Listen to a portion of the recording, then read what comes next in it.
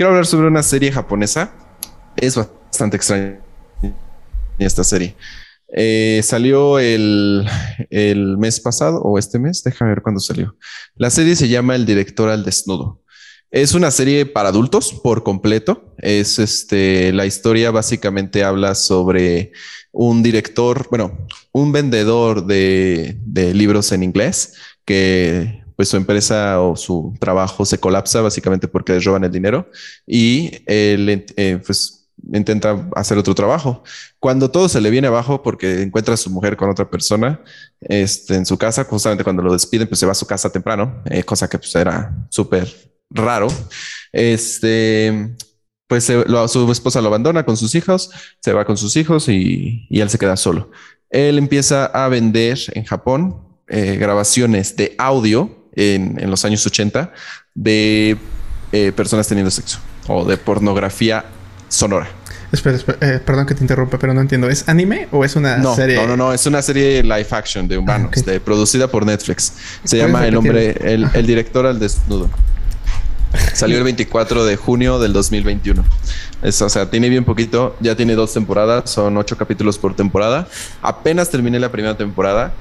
Está muy pesada la serie. O sea, sí, sí es muy para adultos. Tiene todos los capítulos tienen escenas de sexo y sexo explícito. O sea, eh, por el tema que trata, es un director de pornografía que rompió la industria en Japón. Se sabe que en Japón, hasta el momento de hoy, hasta el día de hoy, esta serie se basa en los ochentas, pero hasta el día de hoy, en Japón existe una censura muy fuerte para la pornografía, cosa que no existe ni aquí ni en México, ni en Estados Unidos, ni, ni en muchas partes del mundo. No, en Japón está muy regulada. Las partes íntimas no se pueden ver, la pornografía no se puede distribuir tan fácilmente, cosas así.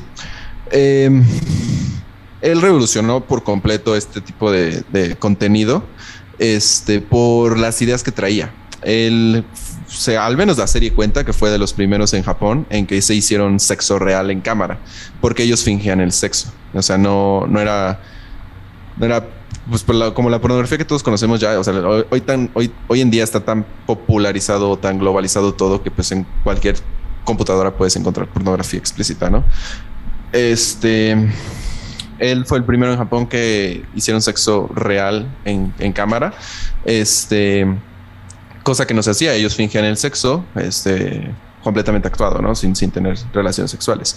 Y, y revolucionó por completo. O sea, lo metieron a la cárcel tres veces al cabrón.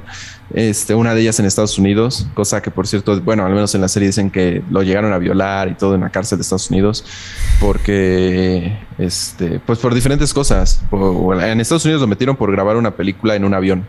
Este, bueno, supongo que es parte de la serie, pero está, está curioso que cómo es que lo metieron en la cárcel de Estados Unidos se hacía porno en China. Se fue, se fue a Estados Unidos a grabar. Ah, sí. Le, hay una, hay, aquí cuentan que hay una corporación controlada justamente por un magnate de la pornografía de la época. En China. Que, ah, en Japón, ajá, que seguía todas las reglas, ¿no? Y, y, él controlaba toda esa corporación que hacían las reglas del, del porno, se podría decir.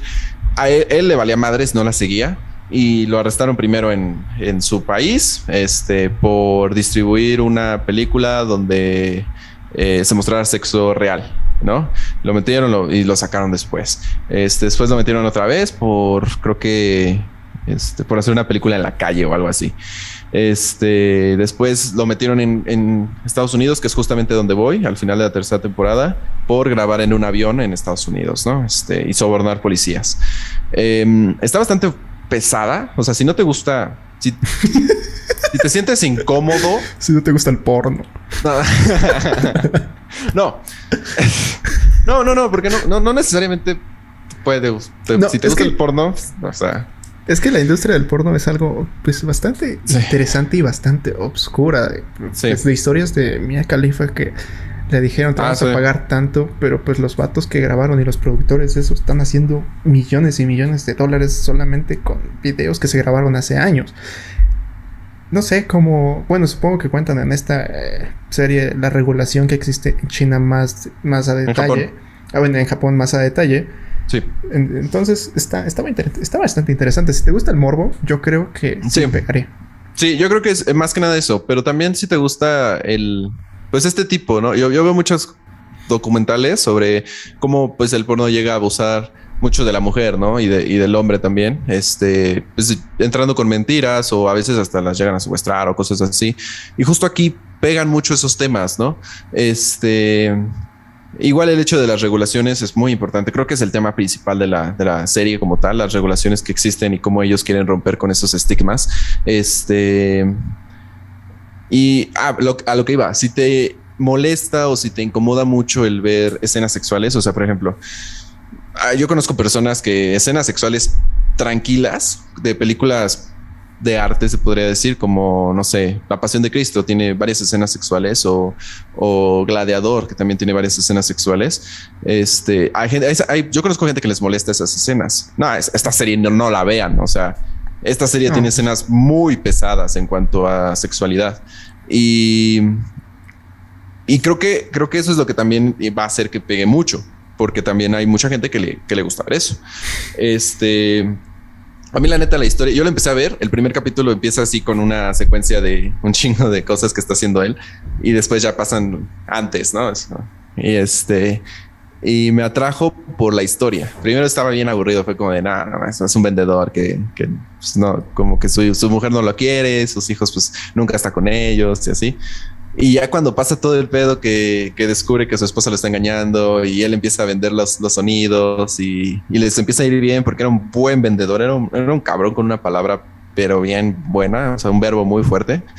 Este, de ahí dije, no mames, está muy buena. Y más que nada por el guion, o sea, empiezan a introducir a los yakuza en cómo vendían este, videos pornográficos ilegales. Este, a uno de sus compañeros se empieza a meter más en los yakuza hasta el punto de que ya es parte de ellos. Y el, mundo de la mafia, el mundo de la, la corporación esta que es este como el magnate de la pornografía en Japón, cómo controlaban todo, cómo controlaban a sus chicas, este y él cómo encuentra a este tipo de personas que, que les gusta hacerlo y, y, ah, o sea, y no solamente les gusta y lo hacen por dinero, ¿no? Sino que lo hacen porque en verdad les agrada hacer ese tipo de contenido, ¿no? Que es justamente una de las actrices principales de la serie, que yo creo que fue de sus actrices primordiales de todas las, de todas sus películas que ha de haber hecho y me imagino que se van a casar.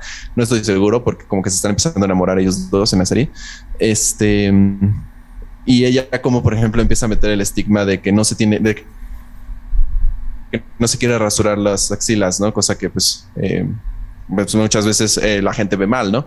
Pero ella no, ella quiere ver así y quiere tener como sexo real y quiere tener como como en lugar de solo el, las escenas sexys, no, quiere tenerlo más real y más eh, como, como en verdad la gente le gustaría, ¿no? Que me, me, medio sadomasoquista y cosas así raras.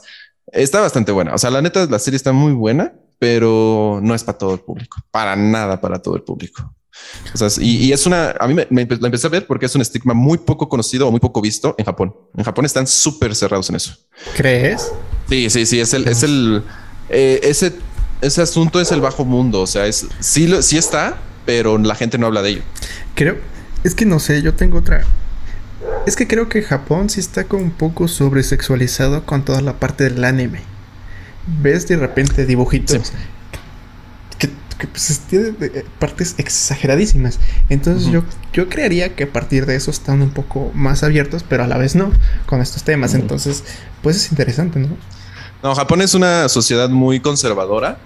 Este, bastante, bastante conservadora, de hecho. Y, y sí, sexualizan mucho en el anime, sexualizan mucho en las series. Por ejemplo, los K-Pops de Japón también se sexualizan mucho, pero muy a su estilo. O sea, como por ejemplo el porno de, de, que tienen su como sus reglas. No pueden mostrar eh, órganos sexuales, por ejemplo. Este los censuran, ¿no? Y, y eso es como justamente lo que ellos querían como empezar a luchar y empezaron a hacer como trucos para que no se mostrara el órgano sexual, pero aún así se hiciera popular el video, ¿no? Y rompieran este, pues las barreras y sin romper las reglas, romper récords, ¿no? En ventas y cosas así. Este, yo te digo que me sorprendió porque nunca había visto nada en Japón así. Es que pues sí, o sea, animes hay bastantes. O sea, hay, animes hay mucho, pero porque el anime está dirigido para jóvenes y, y este tipo de series no. O sea, este tipo, esta serie está dirigida completamente para adultos. Un joven, no, y un joven la va a ver por Mord. bueno, este, los jóvenes son los que ven, consumen. Exacto. Bueno, sí, probablemente, probablemente, sí. Pero es producida por Netflix, por cierto, por la productora de Japón de Netflix. Tiene dos temporadas, ocho capítulos cada temporada. Este está muy buena. El doblaje está bastante bien hecho. La versión original, igual en japonés, está muy bien. Este, en general está, está bastante buena. O cómo va pasando este director por sus problemas, porque en realidad son eso, son puros problemas y problemas y problemas, y cómo los va conllevando, porque era un cabrón, o sea, era un, era un verbo muy, muy bueno.